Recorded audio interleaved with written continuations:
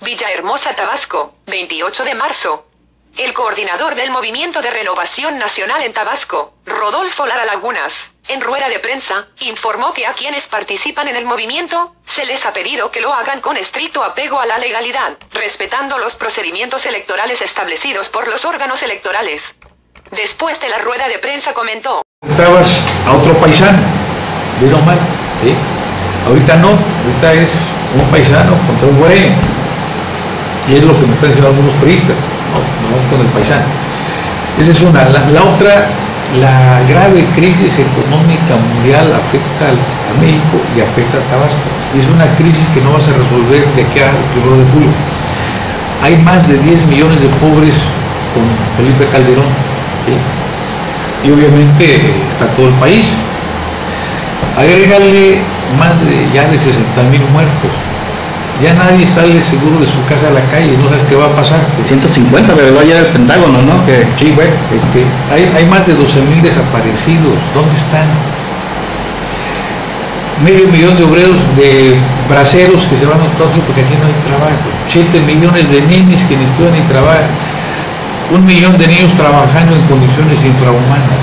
Entonces es un cuadro de veras desolador. Es una tragedia la que está pasando este país. Entonces, y, de aquí al 1 de julio, por mucho que repartan molinos, bicicletas, este, láminas, no van a poder. O sea, hay, un sentimiento generalizado, ya, no es de conciencia, es un sentimiento afectivo, ¿sí? De querer un cambio, a ver si ahora sí este, respiramos mejor. Entonces, estas condiciones eh, peores que hace seis años, pues nos hacen más optimistas porque obviamente el proyecto de Andrés Manuel tiene respuestas para ese diagnóstico y porque además él ya demostró que sabe gobernar. Mira, eh, hay, hay líderes que son muy críticos, pero no han gobernado y entonces uno los elige pensando que y a veces no lo hacen. Nos ha pasado en el partido, ¿no? que nos vayan algunos. Bueno, Andrés Manuel ya demostró que sí sabe gobernar salió muy bien evaluado en los años de gobierno. Si tú vas a médico, hablas con gente de ahí, a con taxistas, lo recuerdan y bien.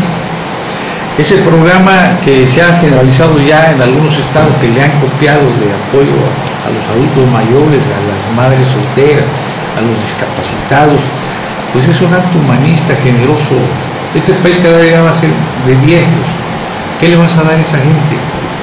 Que, no tiene seguro social, que no tiene, que es la mayoría, los quieres ver de limonero, dando lástima,